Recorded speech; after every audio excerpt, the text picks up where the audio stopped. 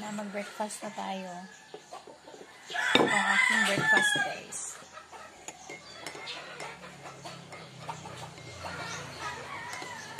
Milk na may konting coffee.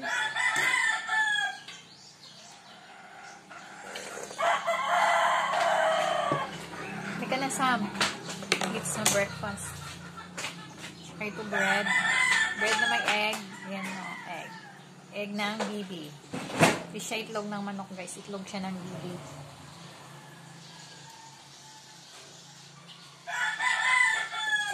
Itlog siya ng duck. Duckling.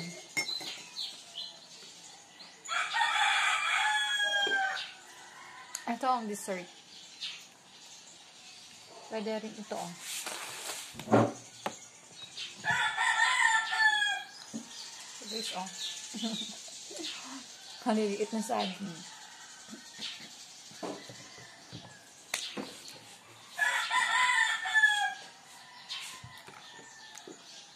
Sa mga nagda-diet dyan, ano, hindi kailangan skip ka ng breakfast. Kasi yun yung pinakamahalagang meal of the day.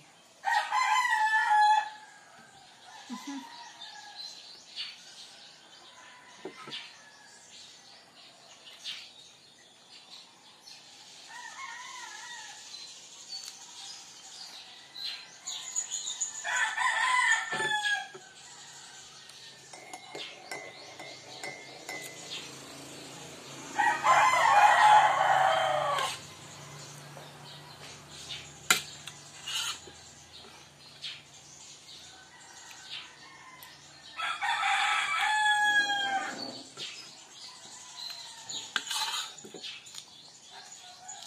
yung masang part ng egg pero masarap.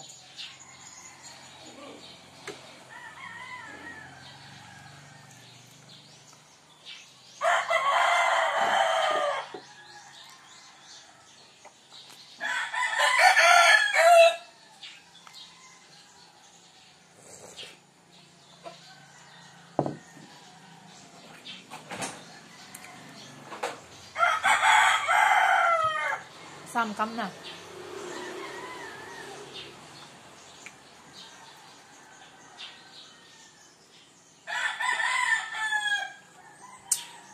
So, yan na muna guys. Thank you for watching.